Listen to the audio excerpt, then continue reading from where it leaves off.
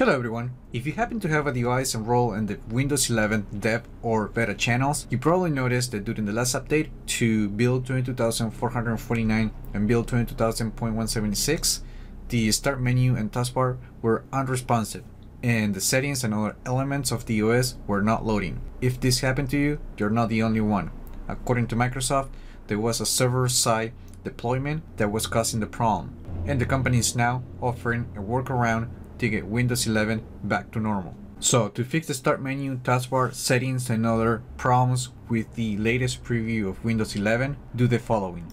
First, use a Ctrl Alt Delete keyboard shortcut and then open Task Manager. If you have the compact view of Task Manager, click the More Details option. Then click on File and then select the Run New Task option. In here, type CMD to open to open command prompt. In here, type the following command, which I'll be leaving a link on the video description so you can get this command and the written instructions on how to do this. And then press enter. As soon as you press enter, your computer is going to restart automatically. And once the computer restarts, Windows 11 is going to go back to normal.